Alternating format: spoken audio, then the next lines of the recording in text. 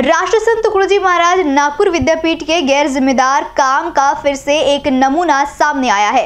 इस बार SFS college के सेकेंड ईयर के सेकेंड सेमेस्टर के छात्रों के पेपर के बाद हॉल टिकट देने की बात सामने आई है। इससे कई छात्र हैं जिनका नुकसान हुआ है। आज इन छात्रों को न्याय मिले, इसलिए आज नागपुर शहर कांग्रेस कमेटी अल्पसंख्यक विभाग के अध्यक्ष वसीम खान ने छात्रों के साथ मिलकर आंदोलन किया।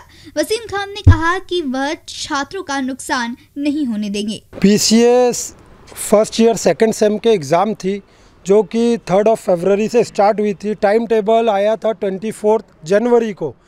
और उनका हॉल टिकट आना था थर्टीन फेबररी के पहले, लेकिन हॉल टिकट अपलोड होता है ट्वेंटी ऑफ़ फरवरी जाने जब एग्ज़ाम हो गई, एक दो, कई बच्चों की एक एग्ज़ाम छुट्टी है, कई बच्चों की दो छुट्टी है, जिसकी वजह से बच्चों का जो रिज़ल्ट है वो फेल आने के चांसेस थे, और आज बच्चों का लास्ट एग्ज़ाम था। तो हमारे साथ ये हमारे पास पूरे एसएफएस के बच्चे और बाकी दिगर कॉलेजेस के बच्चे आए और हम लोग हमारा साथ के जितने भी कार्यकर्ता थे, वो एसएफएस के डीन से प्रिंसिपल से मिले। उनको बोले कि ये कैसा हुआ और क्या हुआ? तो वहाँ के डीन ने खुद हमको लेटर दिया। उनने बोला कि इसमें हमारा फॉल्ट नहीं है, इसमें यूनिवर्सिटी का फॉल्ट है कि उनने लेट अपलोड किए, जिससे बच्चों को ट्वेंटी ऑफ़ फेबररी को आई कार्ड मिला, हॉल टिकट, जो कि थर्टीन फेब के पहले मिलना था।